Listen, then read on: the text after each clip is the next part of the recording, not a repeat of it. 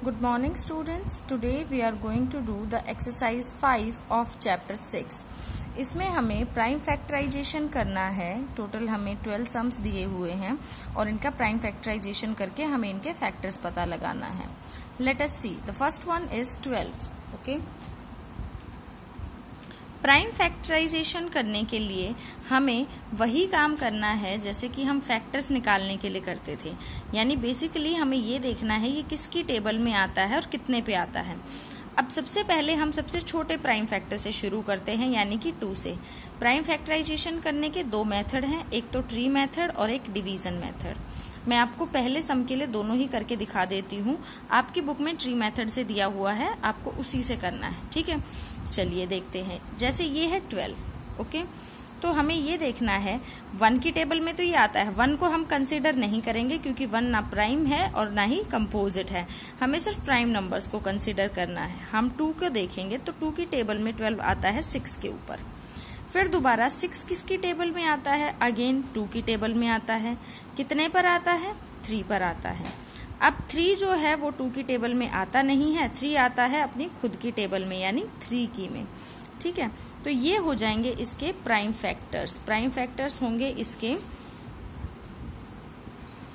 To और three ठीक है? ट्वेल्व के जो प्राइम फैक्टर्स हैं, वो मेन है टू एंड थ्री हम इनको लिखेंगे, अगर हमें लिखना है तो two multiply two multiply three इस तरीके से लिखेंगे. इस तरीके से हम इनको लिख देंगे। ट्री मेथड से क्या है? सेम तरीका वही है, बस थोड़ा सा फॉर्मेट इसका बदल जाता है।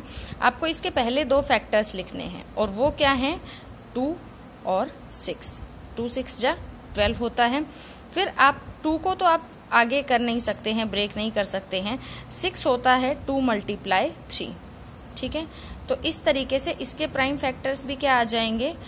Two multiply two multiply three ये जो है ट्री मेथड है और ये जो है वो लॉन्ग डिवीज़न मेथड है। दोनों ही मेथड से फैक्टर सेम आते हैं, कोई दिक्कत नहीं होती सेम आंसर आएगा। मेथड अलग अलग है। ये डिवीज़न मेथड है, ये ट्री मेथड है। आपको इस तरीके से अपनी नोटबुक में करने हैं। ये देखिए बेटा, इसमें जितने भी नंबर गिवन हैं, ये सारे पहले टू से ही डिवाइड होंगे। ठीक है, मैंने सबको देख लिया है। सारे के सारे इवन नंबर हैं और पहले टू से डिवाइड होंगे। तो अगर आपको थोड़ी बहुत प्रॉब्लम आ रही है तो आप अपने राइट मार्जिन में टू से डिवाइड करके लिख सकते हैं। एक बड़ा नंबर मैं आपको करके दिखाती हूँ। चलिए सिक्सटी का करते हैं, या सेवेंटी का। सेवेंटी का करते हैं। अब 72 टू यहाँ देखिए लास्ट में जिसके two four six eight zero आएगा, वो टू से डिवाइड होगा। आपको नहीं पता कि 72 टू पे कहाँ जाता है, टू की टेबल में। तो आप सिंपली इसको डिवाइड कर लेंगे। ठीक है? तो टू थ्री जा, आ जाएगा आपके पास सिक्स। यहाँ वन बचेगा और यहाँ हम टू डिसेंड कर लेंगे और टू सिक्स जा, आपके पास आ जाएगा ट्वेल्व। तो ये होगा थर्टी सिक्स टू जा, सेवेंटी टू। और इसी के तरीके से आप यहाँ लिख लेंगे। पहले आपका आएगा टू, यहाँ आपका अगला फैक्टर हो गया थर्टी सिक्स। टू को आप एज इट इज़ रहने देंगे। थर्टी सिक्स के भी लास्ट में सिक्स है तो ये भी टू की टेबल में जाएगा। इसको भी आप करके देख लेंगे। वैसे तो इतने टेबल आपको आने चाहिए कि एटीन टू जा थर्टी सिक्स होता है, ठीक है? तो ये कितने पे आएगा? टू पे। और एटीन पे। आ गया?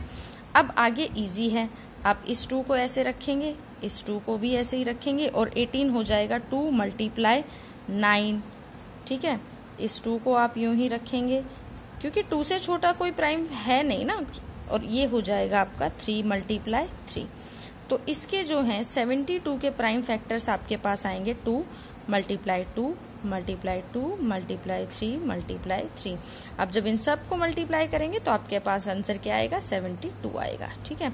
ये आपको अपने राइट मार्जिन में करके रखना है। इसको आप अपने यहाँ सम के आगे नहीं आने देंगे, ठीक है? ये आपकी राइट मार्जिन में होना चाहिए, अगर आपको नहीं आ रहा है तो।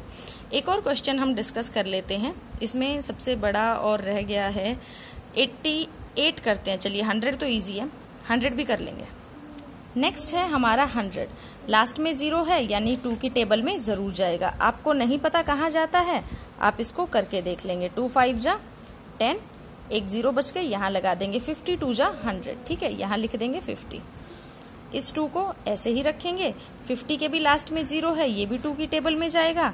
नहीं आता तो करके देख लीजिए। ठीक है, टू टू जा, फोर, वन बच गया, टेन डिसेंड, ज़ीरो डिसेंड करेंगे, टू फाइव जा, टेन। तो ट्वेंटी फाइव टू जा हमारे पास क्या आया? फिफ्टी आया। यहाँ हम लिख देंगे ट्वेंटी फाइव ओके ये टू आ गया अपना। ये टू आ गया। और ट्वेंटी फाइव को हम क्या लिख सकते हैं? फाइव मल्टीप्लाई फाइव फाइव भी तो प्राइम नंबर है ना? तो इसके प्राइम फैक्टर्स हमारे पास हो गए two multiply two multiply five multiply five ठीक है? जब इन सबको मल्टीप्लाई करेंगे तो हमारे पास आएगा हंड्रेड ये इस तरीके से आप हंड्रेड का करेंगे। एक और क्वेश्चन हम कर लेते हैं एटी एट के लिए। ये देखिए, इसमें बहुत सारे बच्चे, वैसे तो बहुत ही इजी हो जाता है, इसका इलेवन मल्टीप्लाई एट हो जाएगा। एट को आप फिर से टू टू टू में तोड़ लेंगे, ठीक है?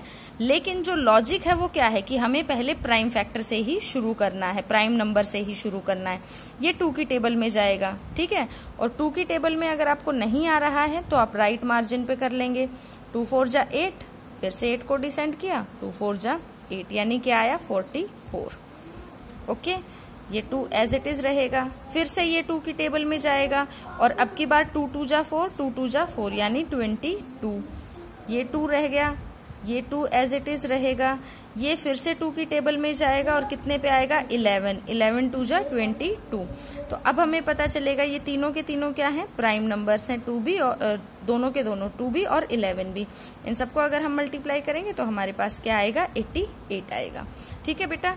इस तरीके से आपको पूरी एक्सरसाइज कर लेनी है। ट्वेल्व सम्स है, चार पाँच मैंने करके दिखा दिए हैं। कोई भी डाउट हो, आप मुझसे पूछ सकते हैं। Thank you.